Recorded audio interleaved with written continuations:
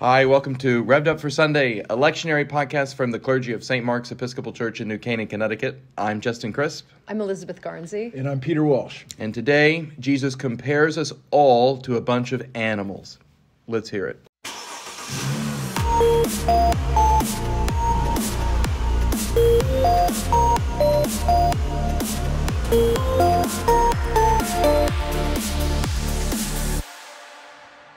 A reading from the Gospel according to John, the 10th chapter, beginning at the 22nd verse. At that time, the festival of the dedication took place in Jerusalem. It was winter, and Jesus was walking in the temple in the portico of Solomon. So the Jews gathered around him and said to him, How long will you keep us in suspense? If you are the Messiah, tell us plainly. Jesus answered, I have told you, and you do not believe.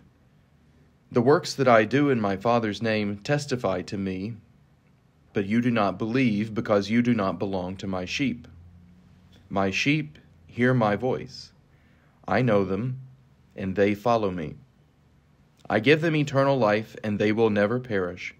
No one will snatch them out of my hand.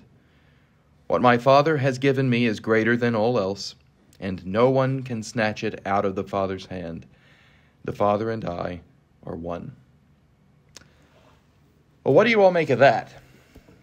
This is happening. This is this. Um, uh, we should we should be clear here at the beginning that this is just one portion of the Good Shepherd discourse, right in in the Gospel of John. So Jesus has been comparing himself to a shepherd here for many verses, many for uh, you know basically since the beginning of the tenth chapter, and here we are picking up with verse twenty two.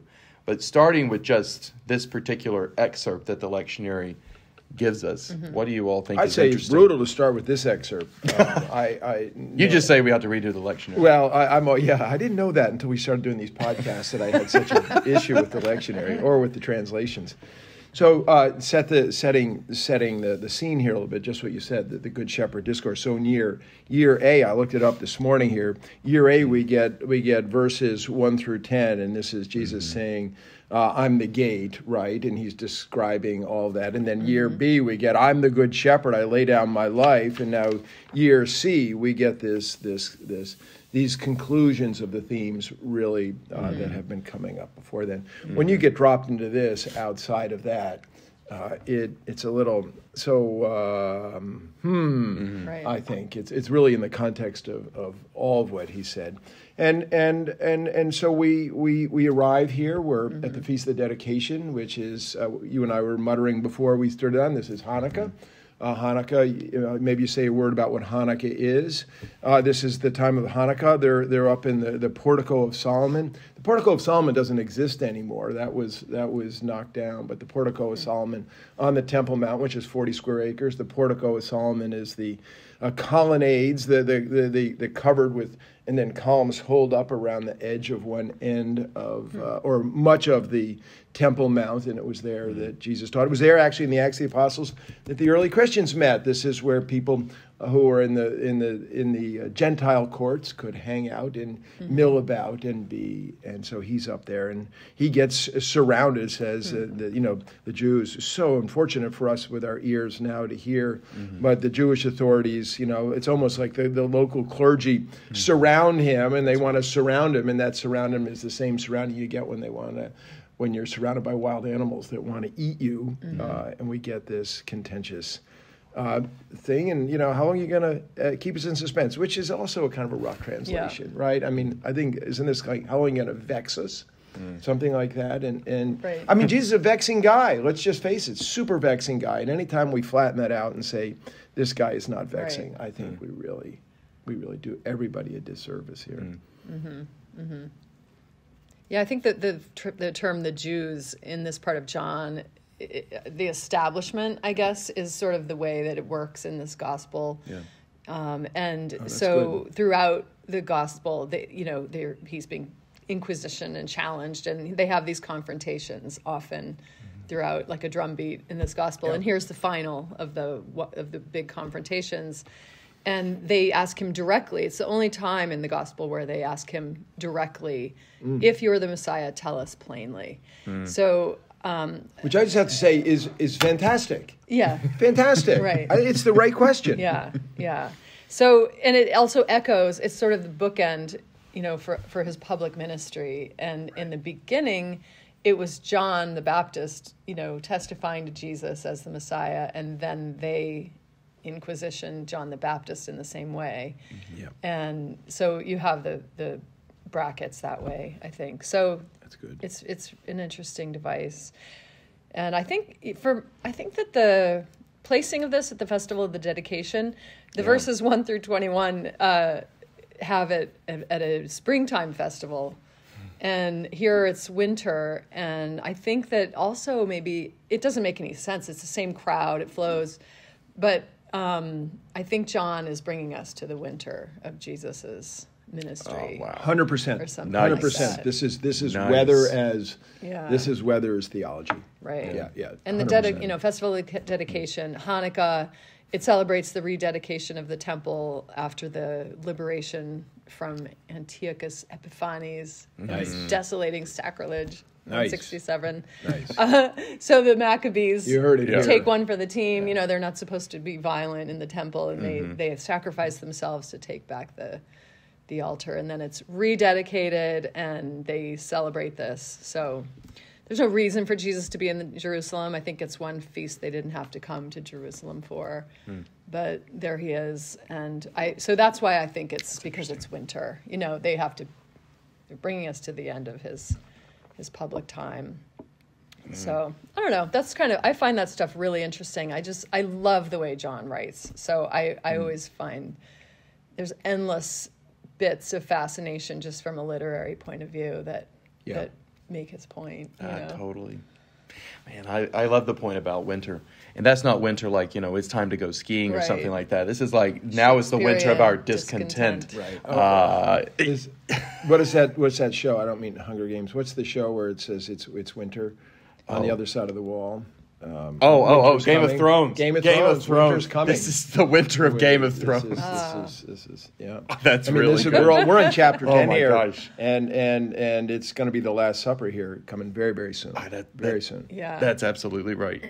um, I'm also um, I'm also drawn to if you are the Messiah, tell us plainly. Gosh, I would love for Jesus to say some things plainly. But then again, his answer is, "Well, I have told you some things plainly, and I think he does say some things plainly, and I just can't hear them." And that's what he's Right. saying his audience can't do here either. I have told you, and you do not believe the works that I do. He says that's what that's what testifies to me, and these works are what the Gospel of John calls signs. Right? These are uh, the, Jesus' works in John are not simply healings as such, not simply um, you know, uh, not simply forgiveness of sins as such. These are all of these miracles or these works that Jesus is performing are supposed to testify to him. They're supposed to be signs which carry the meaning of the one who does them inside of them. You know, going back back to the very beginning where the first sign is the uh, the the wedding at Cana. Uh-huh. So these these works are supposed to show us who Jesus is.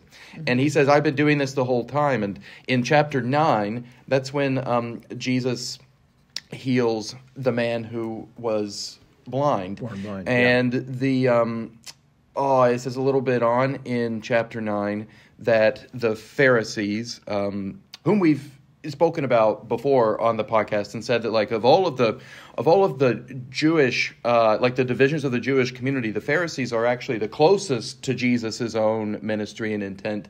Uh, and in other passages, we see the Pharisees trying to do Jesus a solid, trying to warn him about things that are about to come to pass. So the Pharisees can get a bad rap, but Jesus is very close actually to the Pharisees, theologically and otherwise, closer than you might see given the polemics of the day Right. in which all four Gospels are written. Uh, But in any case, here the Pharisees are making a mistake, and they all that they can see is not the fact that this person who was blind can now see. All they can see is that this man was healed on the Sabbath, and so in contradiction of their interpretation of the laws of the Sabbath. And so they, they can't they can't see the miracle Jesus has done. All they can see is the fact that he's transgressed the law. And so I think here he's saying, you know, I have told you and you don't believe. Mm-hmm. I, the works I do in my Father's name testify to me, but you don't believe because you do not belong to my sheep. And that's a real puzzle here mm-hmm. because it seems that the, I mean, he goes on to say, What my Father has given me is greater than all else, and so on and so on. So it's this idea that the Father has given Jesus sheep, they know his voice did the father just not give him these pharisees from chapter 9 is that what's going on and here we begin to like get into the mm. talk about vexing mm-hmm. the vexing question of predestination all of that kind of thing and i try not to flatten any of that stuff out just to say i, I think that the i think that the scriptures contain all of this imagery all over the place right mm-hmm. there's the imagery of the fact that like uh, it, it, the sheep are given jesus by the one he calls father and there's the sense that we freely choose to be among the sheep, right? You know, it's it's all of those things at the all those things at the same time. Uh, I don't know if either one of you want to comment on predestination or whether you know God giving Jesus the sheep precedes the sheep knowing His voice. Uh, or how that might work in our own lives, or if you just prefer to like take a pass and let the Presbyterians across the street, the devotees of uh, John Calvin, you know, uh, comment on that. Um, my brain is simply too small for these questions. Uh, I, I, I take a pass on on that. Um, I find it to be um, a theological rabbit hole that is wildly unhelpful mm. and and does not it's not good yeah. for, not good for the soul in any way. Mm. And I, I think that people who run down that rabbit hole, and, and no offense to our Presbyterian friends, I'm happy to have them take this on um, uh, uh, find themselves lost in um, a place that doesn't lead to the way of love, uh, mm. which is what Jesus taught, and it, it doesn't. It, it's a theological conundrum that does not bring. Uh-huh. Um, it does not bring holiness. I'll just say that. I, I, I find the whole conversation to be vexing for mm-hmm. sure, mm-hmm. but to, to, to, to launch in on it to be unhelpful. Mm-hmm. And that, but I, am I'm I'm small minded on this. Oh, hard uh, no, That's no, no, no, no, said. I, I like I to stay right. in the text with things like this. I think John has a particular place and time and community that's farther out than the synoptic gospels mm. and they have mm. more clear lines between themselves and the synagogues and the Jews who have decided to follow Jesus and the Jews who've stayed in the synagogue and the Jews have been thrown out of their synagogues mm. because of Jesus. So I think he's addressing those people who are living with uh, the isolation of being thrown out of their communities or divided in household. Um, you know, there's a lot of pain involved in being a first century Johannine Christian, mm. and I think that he there he's writing with this more clarified sense of you know the the ultimate questions and answers you know and mm. i just feel like the this kind of confrontation here is probably echoing what they're experiencing in their synagogues mm. you know mm-hmm. was he the messiah or not tell us plainly because if you if you say the wrong answer you're out of here mm-hmm. you know mm. i don't know That's i think it's helpful yeah. and yeah. similarly i think the father and i are one it's so easy to jump right into the third you know second third century controversies that of, of one person one essence one being when it's unite you know in john the message seems to be we are united in our work and it's not to say they're not one person one essence one but but here I just feel like we go too far too fast with some of these scriptures to say, um, oh, see, this is what Jesus was telling us all along that, mm-hmm. um, yeah, you know, and and really, it's working for that community at that time, and it works for us too. But we don't have to be bound by their controversies. But um, mm-hmm. it's a helpful way to read it.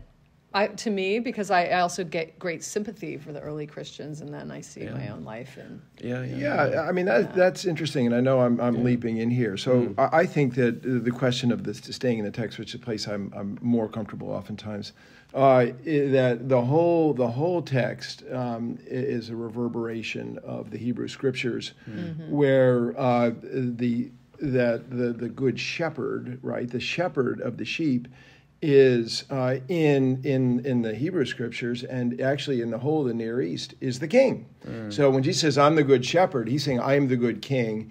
And so, and then in the passage that I preached on uh, last Sunday about tend my sheep, feed my sheep, feed my lambs. That that whole thing. The word tending of those sheep is the word that they use for the king caring for mm. the flock. So we have Jesus as Messiah King. Mm-hmm. We have we have uh, uh, uh, sheep as uh, as the people that belong to the kingdom, so to speak. And, and then we you know we get this whole question of the Shema, the Father mm-hmm. and I are one, right? Uh-huh. So the this is nice. to my mind this is all echo, echo, echo yeah. of of of of um, uh, a, a, Hebrew story, and it takes place uh, on the Temple Mount and during the during Hanukkah, where there was great division. I mean, the the, the feast of the dedication. I mean, the Maccabee Joseph Maccabee slays um, a Hebrew man who comes to make a sacrifice in the altar with a sword, mm. and so they're killing the, the the Jewish people are killing the Jewish people and and here we have uh, this is an intra-Jewish, an intra-Hebrew disagreement mm. taking place on the uh, on mm-hmm. the, the, celebration of, of Hanukkah, the cleansing of all this. So I mm-hmm. mean, I think you get in here. There's super duper echoes of a Hebrew wow. story that has yeah. it's really interesting. Really, really quite far from the question of the Johannine community. Mm. That there's another thing being worked out here. Yeah. Mm-hmm. mm-hmm. Oh, that's really interesting. That's good. You know, I I think that um the thing which I love about the Gospel of John is the way that it's um, it's fusing the Hebrew and the Greek traditions in mm. which the Jewish people and the Christian people of his day, the people of his day, Jew and Gentile, would have been swimming, right? Yeah. So you've got all of these Hebrew echoes here. Uh, you've got references in the prologue to the Gospel of John to mm-hmm. the Logos, right? This Greek philosophical concept, especially beloved of the Stoics and so on. And John's not unique in the fact that he's combining these different currents. Uh, certainly not unique. I mean, I'm, I'm thinking of the philosopher Philo. Uh, in particular, but he is unique in the fact that he finds both of these mm-hmm. worlds coming to an apex in Jesus of Nazareth. Mm-hmm. Uh, that's that's really really interesting to me. Um, mm-hmm.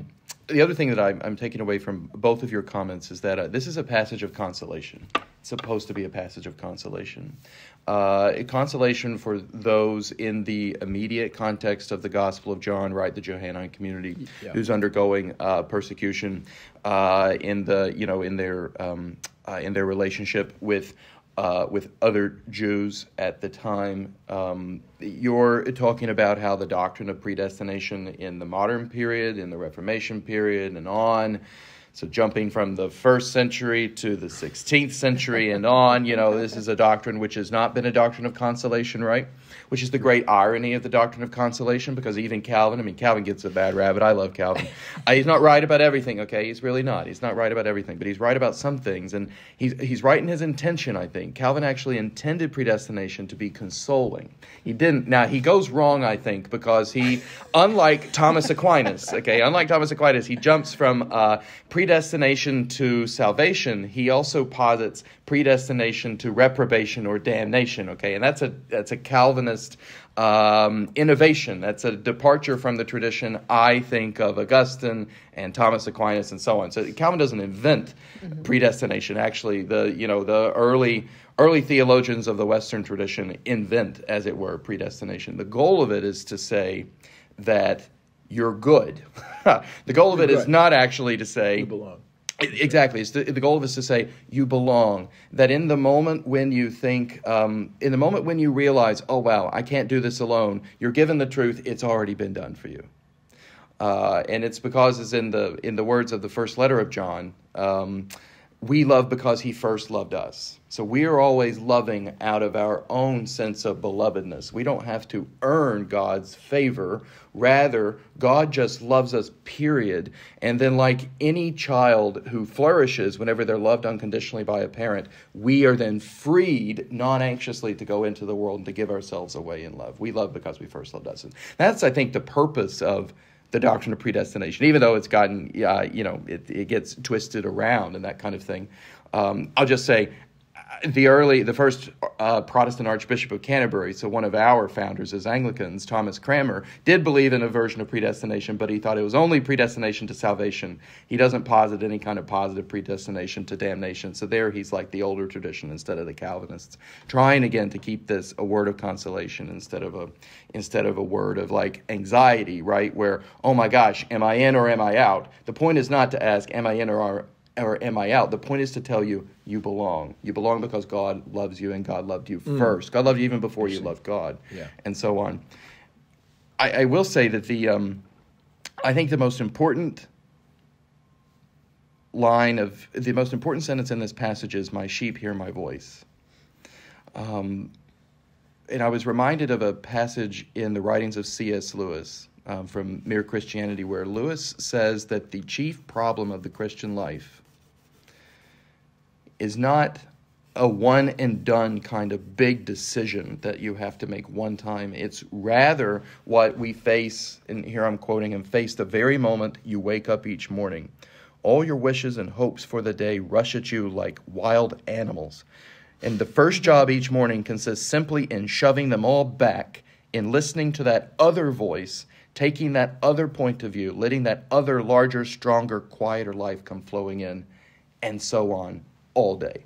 So that the Christian life is trying, is striving to hear our Good Shepherd's voice all the time. And it's hard to do that in a world which is a den of noise. A Super interesting quote there at the end. Yeah. Um, do you guys agree that's the most important line here? That was I, I, that was lobbying. Got, you got me to put my head down uh, into the scripture. I saw you underline a different I, verse. I, did underline a different verse. I don't know, Elizabeth. What do you have to What do you have to say of Justin's? I have to agree with Justin. Oh man, both, oh, both yes. feet in on that. Wow, gosh.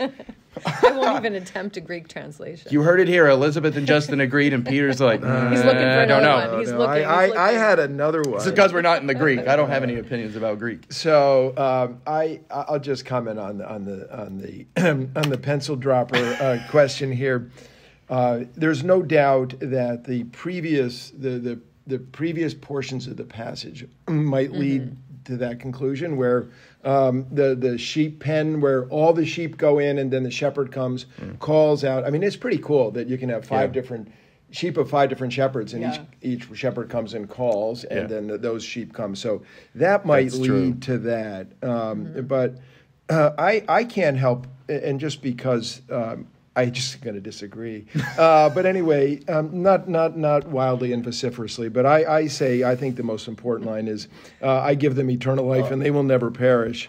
Uh, and I pick that out because um, the, the, Gospel of John wow, wow, wow. is the gospel of life, and uh, and that uh, he that that's uh, uh, what the kernel is about. The conclusions keep coming back to hmm. to this question of who is Jesus and uh, and you get into the book of signs and, mm-hmm. and, and all that. So who is Jesus? And if you believe, which means if you participate in the life of Jesus, you get life. That's the kind mm. of transaction. Mm. It's who is this? Who is this guy? What's the godly thing? Yeah. If you participate in in in the swirl of his divinity, you get this gift of life. And so that's that's why I might I might do that, pick out that line, mm-hmm. and uh, and so we've been talking about predestination, which I has I have nothing to say about that has any that, that, means anything to anybody. Um, but uh, this question of it was intended to be good news, but it was bad news, and yeah. so and that yeah, they yeah, they will never perish. I would say, I mean, we're all pastors of people. Mm-hmm. Uh, uh seek to see defeat people with with the love of Jesus and I mean, you know, at some level, I mean, look what you did yesterday, Justin. You visited a, a, a, a, person and a couple, and in the worst of heart of circumstances, and part of it is mm-hmm. the message is you will never perish. You're not going to perish. That's that's the oh, central wow. gospel message is that we have mm-hmm. life and we are not going to perish, mm-hmm. no matter how bad it is. And so that's the one way I mm-hmm. might come back that say that sentence is more, more it got more zippity zap than uh, mm. than they hear my voice. Mm-hmm. But the, but a, a good oh, point wow. can be made for they hear my voice too. Yeah.